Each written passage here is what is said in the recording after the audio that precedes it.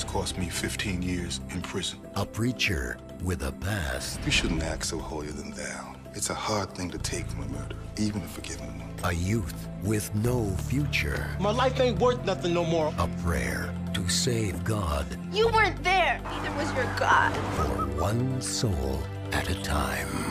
Are you in the right on